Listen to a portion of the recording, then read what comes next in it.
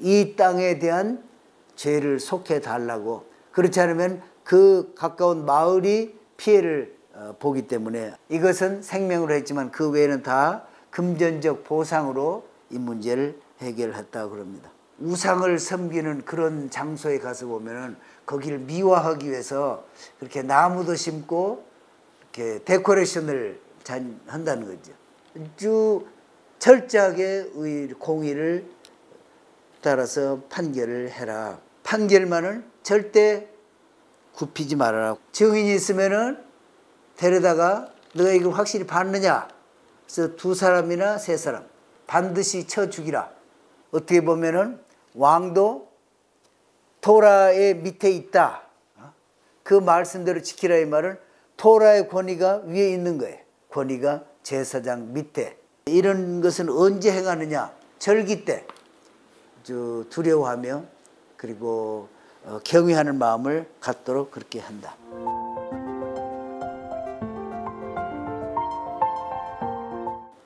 맨 처음에 나오는 것이 재판관인데 18절에 보면 내 하나님 여호와께서 내게 주시는 각 성에서 내 지파를 따라 재판장과 유사를 둘 것이요 그들은 공의로 백성을 재판할 것이니라. 성이 120명이 안 되면은 거기에 재판하는 사람들 3명을 두는 거예요. 재판관. 그리고 어 지파를 따라서 지파를 따라서 이제 두는데 이 120명이 넘으면은 도성이 도시성이 120명이 넘으면은 23명까지 재판을 둬요. 그리고 120명 이하 소 아주 작은 법정이겠죠. 그 법정에는 3명이 재판관이 있는데 거기서는 이런 그 어, 재산 또는 금전적인 문제 이런 것은 판결을 할 수 있지만은 사형언도 내는 정도까지는 어, 아니고 사형언도를 낼수 있는 것은 120명이 넘는 도시에 두는 거기에 재판에서는 사형 언도까지도 낼수 있다 이렇게 했고 성경의 기준에서 최고의 법정 기관이 산헤드린인데 산헤드는 지파별로 각각 하나씩 또 있고 또 대산해들은 제일 큰 산해들은 예루살렘. 예루살렘이 아니고 이제 하나님이 정하시는 그곳에 이제 갈 텐데 결국 예루살렘이 되겠죠. 예루살렘에 산해드린 그런 그 공회가 있는데 거기는 성전 어, 성전산 입구에 하나 있고 성전 입구에 하나 있고 성전 안에 어느 챔버 안에 또 기구가 있어. 그것이 바로 최대 권위 있는 기구. 그것이 성전 안에 한 챔버를 방을 사용해서 거기서 어, 재판하는 기구. 그럼 어떤 사람을 재판관으로 임명하느냐? 재판관은 참 중요하잖아요. 그래서 아무나 세울 수도 없고 그래서 그 기준이 재판관은 첫째는 토라에 대한 지식이 풍부해야 돼. 토라의 근거에서 모든 것을 판결을 해야 될 테니까 토라를 모르면은 이게 안 되는 거죠. 그리고 지적인 능력이 있어야 돼. 그냥 무식한 그런 사람을 오면 별로 지식이 없어가지고 어 사람들과 안에 관계라든지 어떤 그 어 경험이라든지 이런 거 없이 판결을 내리면 그것도 곤란하죠. 그리고 어 판단하는 능력이 있어야 돼. 3,500년 전에 판사를 세우는데 재판을 굽게 하지 말아라. 그리고 어, 외모를 보지 말라. 또 뇌물을 받지 말라.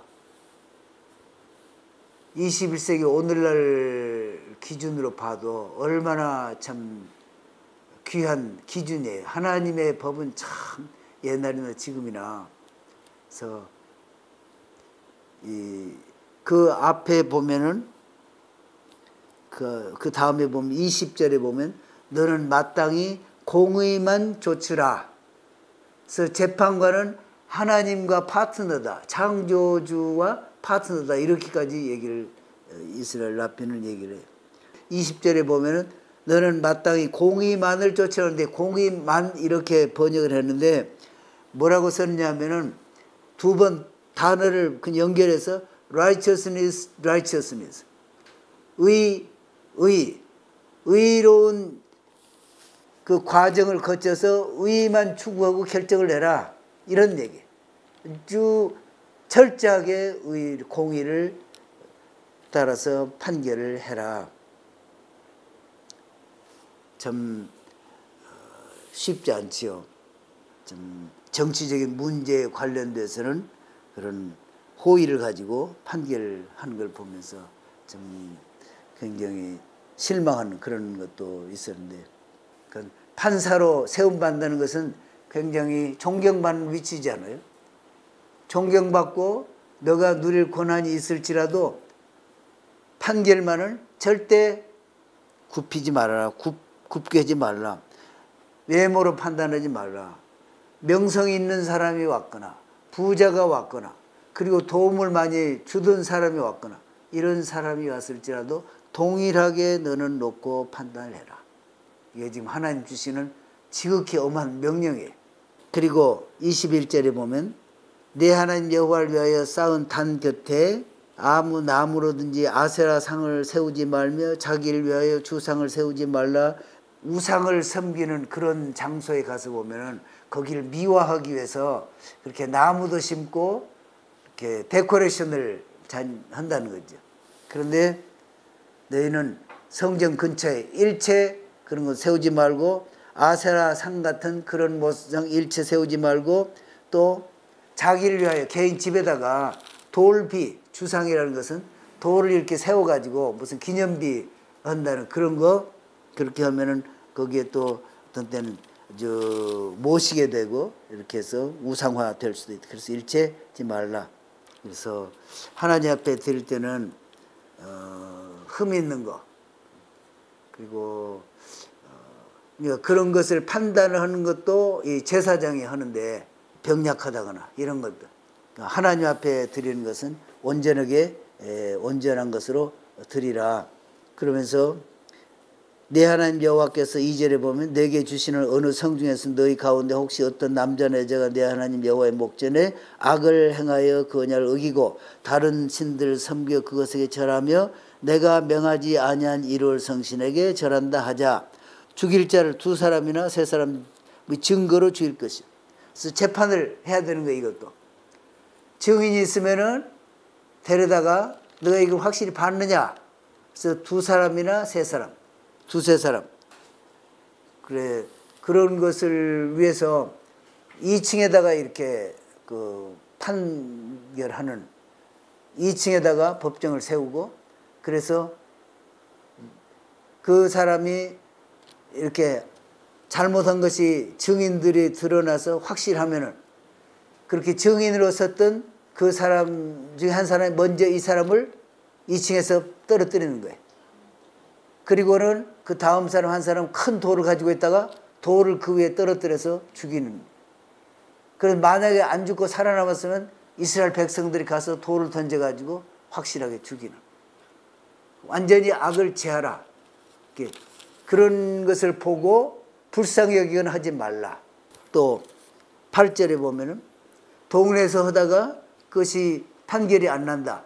그러면은 저 성전이 있는 거기에 산헤드린까지 올라가서 재판관도 있으니까 거기서 어, 레이 사람 제사장 당시 재판장 이 사람들을 통해서 결정을 받을 수 있다. 또 10절 여호와께서 택하신 것에서 그들이 여기에는 특별히 보통 사람들이 다 듣겠지요. 근데 사내들은 공회원일지라도 아주 어, 학자라고 할지라도 사내들인 공회에서 결정을 하면 그건 최고의 의결 기관이니까 너의 해석이 무엇이 됐든지 간에 그것을 접고 이것을 따르라. 좌로나 우로나 사내들인 공회에서 결정한 것을 아주 그냥 방자에 행하여 가지고 아 그 사람들 무식해서 몰라서 그런다. 그리고 제멋대로 행한다. 그러면은 그 사람을 반드시 쳐 죽이라. 그런데 이런 것은 언제 행하느냐? 절기 때. 이스라엘이 절기 때 세 번 6월절 그리고 오순절 그리고 가을 절기 때 사람들이 많이 모이잖아요. 모이잖아요. 그때 이 판결을 받은 사람을 목을 매서 어, 죽이는 거예요. 그렇게 함으로써 절기 때는 많은 사람들이 오니까 전국 각지에서 오는 이것을 보고 저 사람이 무슨 죄로 죽는가 하는 것을 판결하고 그 제목을 다 붙여놓음으로써 전국에서 온 사람들이 보고 두려워하며 그리고 어, 경외하는 마음을 갖도록 그렇게 한다. 그 다음에 14절부터는 왕, 이스라엘의 왕. 우리도 왕을 세웁시다. 이렇게 의견이 나오게 될 때가 있을 것이다. 그러면은 왕을 세우라. 근데 사무엘 때, 아, 우리도 다른 나라처럼 왕을 세우게 해 주십시오. 이렇게 하니까 사무엘이 아주 그냥 마음이 불편했다고. 왜 그랬을까? 분명히 토라 포션에 왕을 세우라고 그러는데 사무엘이 몰라서 그랬을까? 그런 것이 아니고 아직 때가 안 되는데 아직 어, 때가 무르익지 않고 그리고 사무엘도 아직도 살아있는데 왕 세우게 해달라고 이렇게 한 것은 잘못이었다. 왕을 세우게 될 날이 있을 것이다. 그러면 그 왕은 너희 어, 백성들 가운데서 어, 세울 세우되 첫째는 왕이 되면은 왕이 말을 많이 두지 말아라. 하나님 말을 많이 두지 말라. 말은 가서 살려면 애굽에 가서 사와야 되는 거예요. 그러려면 말을 많이 두면은 애굽하고 왕래가 자주 있어야 되고 애굽에다가 사람을 둬서 거기서 늘 있게도 해야 되고 그래서 말을 많이 둔다는 것은 애굽하고 이렇게 관련을 많이 시키는 그런 것이 그리고 어 적당한 양은 두 대 많이 두지 말라. 그리고 아내를 많이 두지 말라. 여기는 18사람까지 18 18명까지 아내를 허락 왕은 그리고 평생에 자기 옆에 이 토라를 써가지고 왕이 되면 항상 하나는 써야 되는데 그래서 그 아들이 왕이 됐으면은 그 아들도 또 한 카피를 쓰고 그렇게 해가지고 항상 토라를 옆에 두고 읽고 그것을 이해하고 가르칠 능력도 있어야 될 거고 또 어떻게 보면은 왕도 토라의 밑에 있다. 그 말씀대로 지키라 이 말은 토라의 권위가 위에 있는 거예요. 그 말씀을 지키라. 그리고 왕도 그래서 제사장 밑에 권위가 제사장 밑에 있어서 항상 어, 그런 범주 내에서 어, 행하라. 그리고 또 겸손히 행하라. 그리고 양은 항상 있어야겠지만은 그래서 은금을 자기를 위하여 많이 쌓아두지 말라. 이것이 반드시 해야 될 일이에요. 그리고 두 카피를 만들어서 토라를 한 카피는 자기 옆에 두고 하나는 자기 보험 재정 창고라고 봐야겠죠? 트레저리 거기에 항상 둬서 어, 충분한 재정이 있어서 백성들을 돌볼 수 있도록. 그리고 바르게 또 그것이 집행이 되도록. 엄밀하게 이렇게 다스려야 될 부분이 있지만은 그러나 항상 토라 말씀을 따라서 행하고 하나님 앞에서 겸손히 행하고 그렇게 할 때 왕의 장구하게 왕위를 지킬 수 있을 것이다.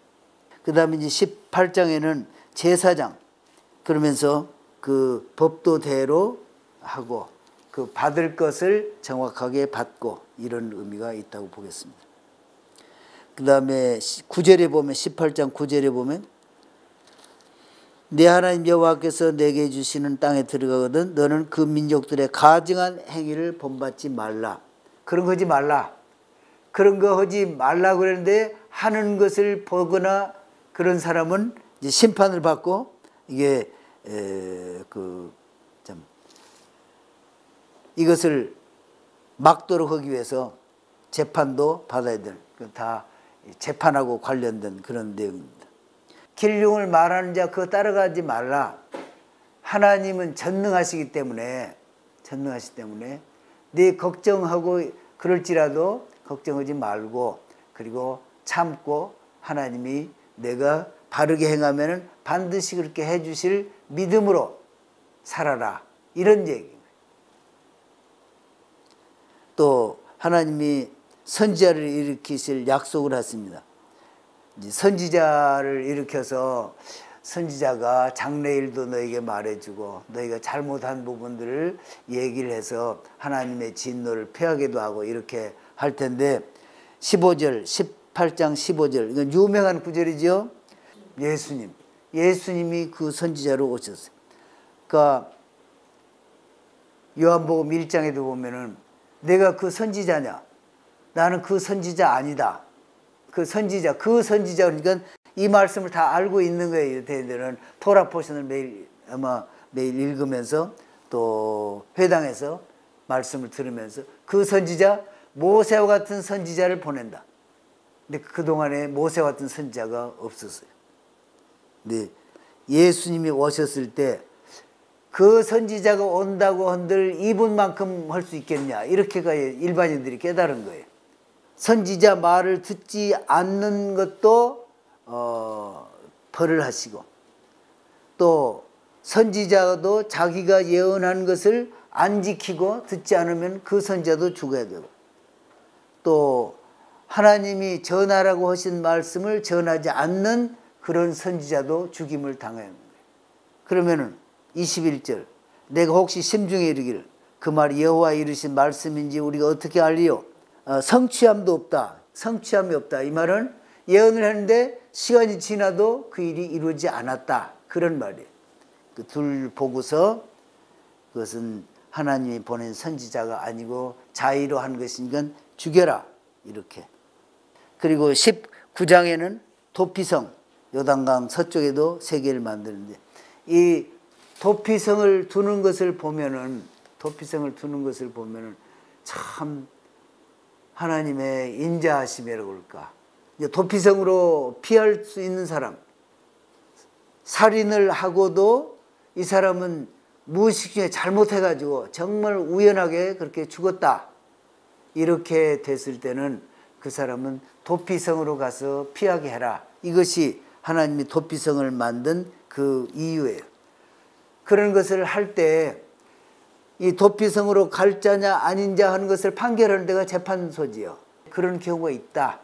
그럴 때는 죽이지 말고 도피성에 가서 어, 제사장 대제사장이 그의 대제사장이 죽을 때까지 살다가 이렇게 에, 풀려 나오게 해라. 음, 그런데 고의로 죽인 거, 고의로 죽였을 때는 도피성으로 가서 피하고 있을지라도 잡아다가 재판을 받게 해서 그 판결대로 처리를 하라. 그러니까 무지한 피를 흘리는 것은 하나님이 용서하지 않으십니다. 무지한 피를 흘린 자는 반드시 죽이라. 이제 요즘 그 논리는 기왕에 살인을 그렇게 해서 죽였을지라도 저 사람이 지금 재판을 받고 있는데 그 사람도 무슨 원한이 있어서 그렇게 했을 것이고 그러나 아, 또 한 사람 죽인다고 그게 무슨 이득이 되겠냐. 죽은 사람이 이미 죽었고. 여기서 뭐 어, 오래 좀 형을 살다가 뭐 죽게 한다든지 또는 뭐 어, 나중에 무기징역으로 또는 뭐 더 좀 복역을 잘해서 풀려나오게 하는 이렇게 하는 것이 한 생명을 살리는 것이 아닌가. 그런 논리죠 요즘에는. 그래서 살인 제도를 없애는 거예요. 그러나 성경은 그렇지 않다 그런 고의로 살인한 것을 놔두면은 살려두면은 그런 죄, 죄가 끊이지 않고 일어난다 그를 어, 극률이 보지 말라 불쌍히 보지 말라 반드시 사형 언도를 내리고 제하라 그렇게 해야 그 피 흘린 그 어, 것이 땅에서 속함을 받는다. 이웃의 경계표를 이동하지 말라. 14절 판결을 바르게 해서 정확하게 판결을 해가지고 누구든지 받은 기업을 그대로 소유할 수 있게 경계표를 이동하지 말지라. 위증했으면은 그것이 들통이 나면은 그 재판을 통해서 받아야 될 벌을 그 위증한 사람도 받도록 이렇게 했다는 것입니다. 그래서 그것을 재판관이 눈은 눈으로, 이는 이로, 손은 손으로, 발은 발로.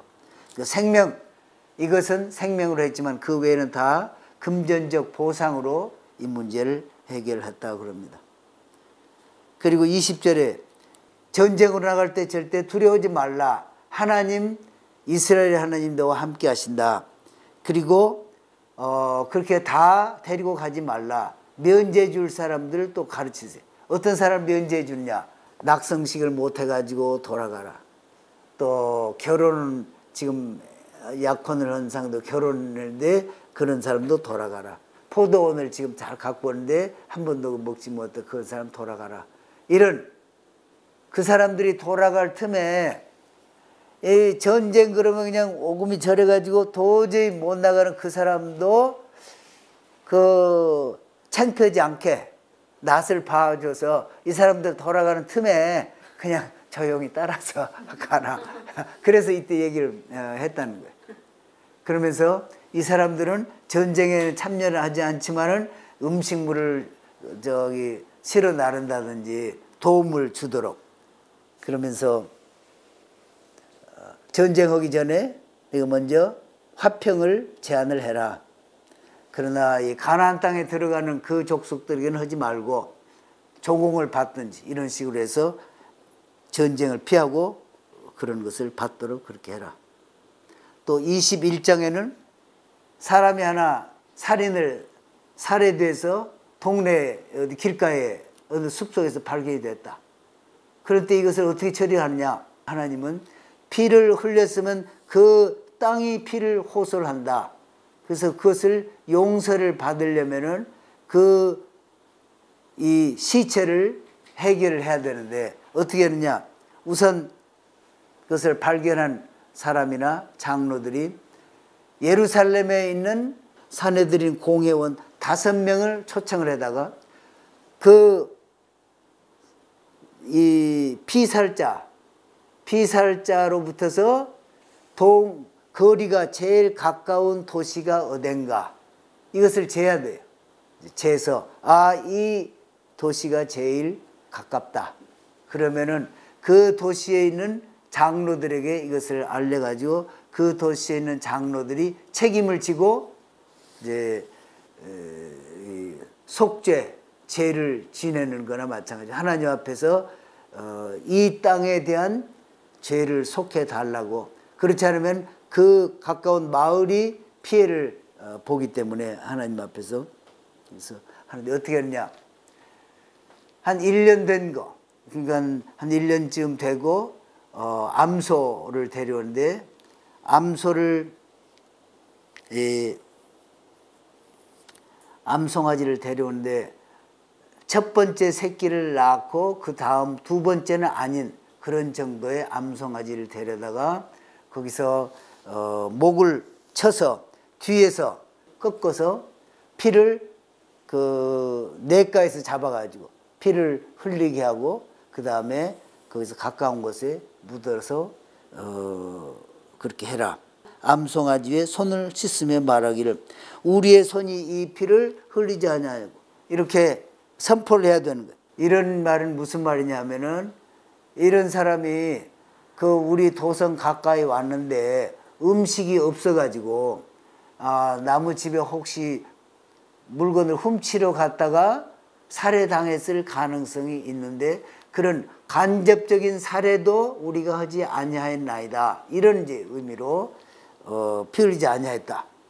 또 우리의 눈이 이것을 보지도 못하였나이다.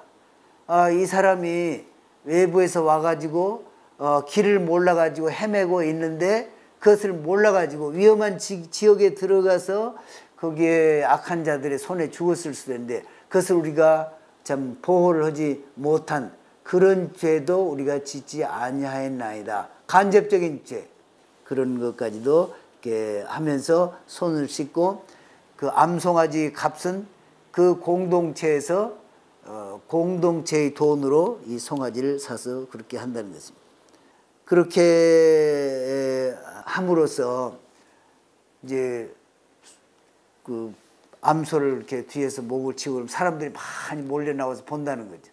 누군가 이렇게 지나갔다든지 뭔가 힌트를 여러 사람들이 모아가지고 받을 수가 있다는 거죠. 사람들이 모이면은 그래서 그것이 끈이 돼서 살인자를 또 하나님께서 지금 보통 살인자는 그것이 어떻게 되나 또 살해 현장에서 자- 온다고 그러니까 하나님께서 그때 그 사람을 막 갑자기 떨게 해가지고 무슨 증상을 일으키게 한다든지 그럴 수도 있잖아요. 그래서 그런 어, 이상한 증세를 보고 살인자를 찾아낼 수도 어, 있을 수 있다. 랍비는 이제 그렇게 얘기를 합니다.